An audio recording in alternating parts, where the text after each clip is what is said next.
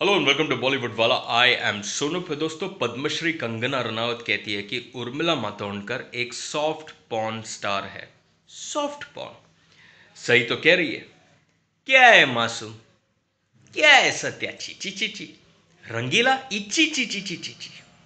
और मोहनलाल साहब के साथ भी एक काम किया था उन्होंने उर्मिला जी वो तो सॉफ्ट पॉन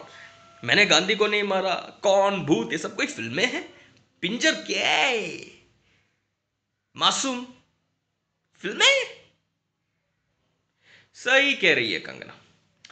क्योंकि अगर कंगना कहती है कि Urmila Matondkar soft porn star है तो फिर वो सारे फिल्म्स जिसका नाम मैंने अभी लिया जिसमें उर्मिला ने काम किया ये सारे फ़िल्म से सॉफ्ट पॉन हुए ना दोस्तों और उर्मिला के साथ जिस किसी एक्टर ने भी काम किया ये फ़िल्मों में वो लोग भी सॉफ्ट पॉन एक्टर्स हुए मतलब नसीरुद्दीन शाह हुआ अनुपम खेर साहब हुआ मनोज बाजपेयी हुआ आमिर खान हुआ जैकी श्रॉफ हुआ ये सारे लोग भी सॉफ्ट पॉन हुए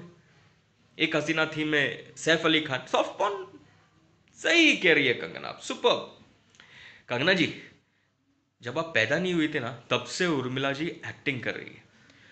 और आप जब स्कूल में थी ना कंगना जी, उस स्कूल की प्रिंसिपल रह चुकी है उर्मिला मातोंडकर दोस्तों,